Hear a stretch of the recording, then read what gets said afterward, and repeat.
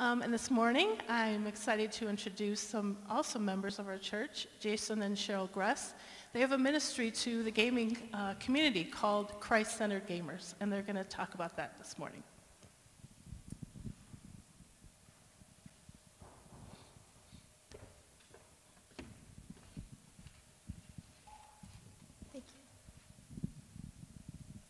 Hello. Hey, Thank you for having us, and uh, thank you for supporting our ministry. And good morning. okay, so um, we've been here, I think it's in 2017, last uh, time we spoke in front of you guys, and uh, a lot has changed in the video game industry. Uh, the pandemic probably had a big impact on it. Uh, as I say, 75% of U.S. households now have at least one gamer in them. And um, if you've been playing Wordle recently, you're probably one of them. Um, there are 2.7 billion gamers worldwide, and the industry is valued at 1.5, or sorry, 159.3 billion, and that's in 2020. It's probably only gone up.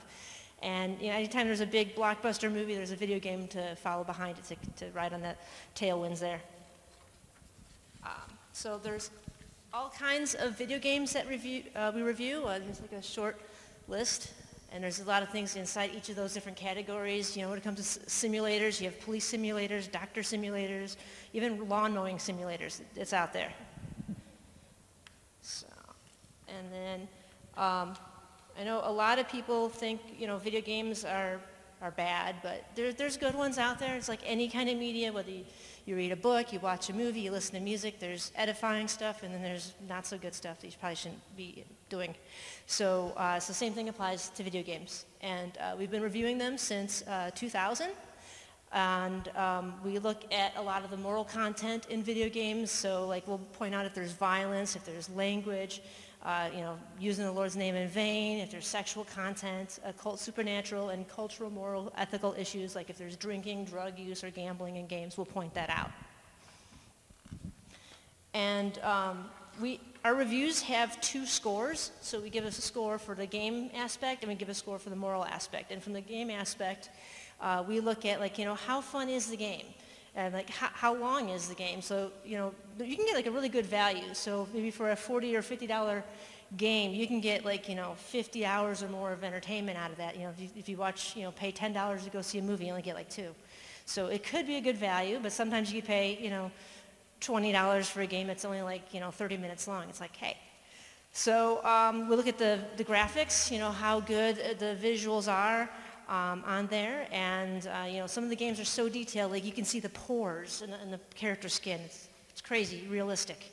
Uh, the sound and voice acting, background music is another thing that we take in consideration, as, as well as stability. If you're running on a computer, having a game that crashes on you every 20 minutes is not so fun.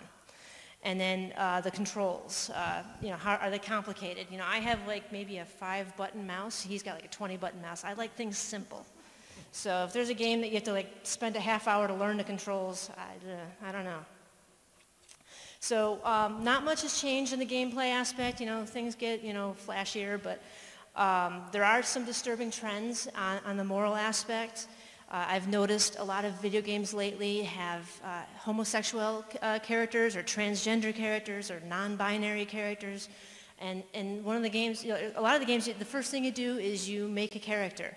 And instead of choosing to be as a male or female, you get to choose your body type. So um, I think if I was going to do a swimming game, I would go with the male body type these days. Um, yeah, I made it better. So why is this important? Okay, yeah, no, I, I, just wanted to point out also that a recent game that I reviewed um, actually had a, a non-binary character give you a speech about why their body type didn't matter. So these ideas are, are being embedded in, in, all media, but gaming is, well, I wouldn't say in particular, but all of them, and gaming is no exception. So why is this a problem? I mean, the, the thing that a lot of people don't realize is that these ideas uh, counter to the biblical narrative of God making male and female and his design for sex is being embedded in our culture in such a way that one in five Gen Z adults say they're LGBTQ.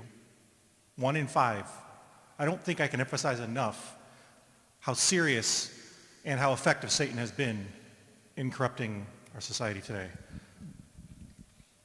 And you'd be surprised the percentages.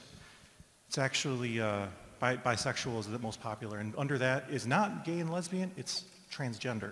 Think about it. So what are we doing about it? Well, uh, unfortunately, we're not able to single-handedly, you know, change the entire industry by ourselves. But what we are doing is offering a place for people to, uh, who are struggling with same-sex attraction and gender identity to have a place to talk about it from a biblical perspective.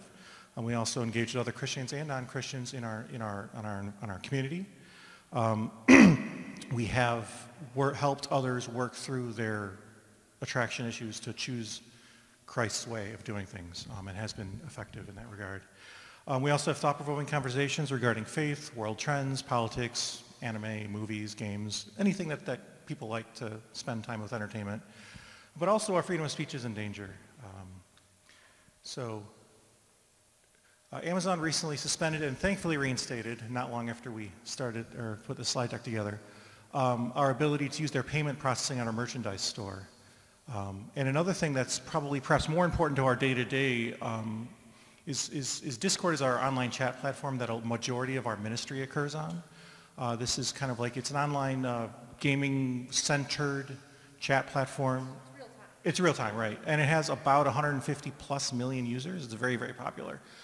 Um, and we, because we're a Discord partner, um, we actually show up in the search results. So if you search for Christ or Gamer, we actually show up as an available server, which is kind of a bit of an honor in a sense. Even as a Christian server, we show up. Right, and we show up for that, which is great. Um, but that we're in danger of losing that, or even losing the server entirely, because they're changing their platform rules for wrongthink. Um, 1984 is not an instruction manual. Anyway, so um, so we have to now, we're going to keep doing this as long as we can, but we're not going to compromise what we allow people to say. Uh, so so we have to investigate other platforms or, or, even host our own if that's what it takes uh, so that, you know, we can continue to say what's true. Um, so here's a few testimonies about members of our uh, community, mostly on the Discord server, like I was saying before. Um, so here's uh, random IT guy. Uh, he, he basically he says, uh, I don't want to read the whole thing, but he just basically says that uh, he really appreciates the prayer request section and the fact that people are very helpful when asking questions about a variety of subjects from technological to spiritual. Uh, there's a lot of genuine care, and we appreciate that. He said nice things about us. Um, here's a non-Christian user that uh, has, has, been fairly, has been, been actually on the server for a couple of years now at least. Um, and he says, I met very fun, interesting people here and learned many things about the Christian religion. Um, everyone is respectful and kind, especially while he name-dropped me. Thanks. Um, this server does very well at uniting both religion and love of gaming for all to come and enjoy. Uh, Christ Center Gamer is a safe and haven for all, and I hope to see the server grow in the future, which is very kind words. And this is one of our reviewers. So we have um, staff reviewers and also a lot of volunteer reviewers. Um, as long as they conform to our standards, you know, we, we'd be happy to, to accept reviews. And uh, this is from a gentleman who joined us last year uh, as a volunteer reviewer. He said, um, I joined the Discord server and became a reviewer, and I'm not kidding when I say this is one of the best decisions I've ever made. I've made many friends and members of this great community and grown as a Christian, and writing reviews and helping others decide what games are for them gives me satisfaction like nothing else. So that's very encouraging for us, and uh, hopefully you'll find it interesting. If you'd like more uh, testimonies, we have lots of them that we can show you in the, in the gym afterwards. All right, so um, just wrapping up, there's different ways if you guys want to help our ministry. Uh, we gladly accept prayer. It's free. and uh, if you want to follow us, if you're on Facebook or Twitter or YouTube, give us a follow, check us out, and, you know, leave us a comment. Um, you know, appreciate the uh, support and encouragement. Uh, we're looking for reviewers every, always. We have over 170 games to review and uh, that, are, that, are, waiting to be reviewed. Uh, we try to post something on the site every day, so there's no shortage of, of work. The laborers are few.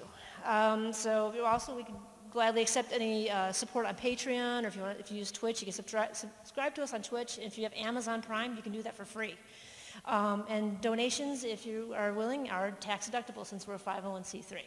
So thank you guys for uh, listening and, and for all the prayers and support. God bless.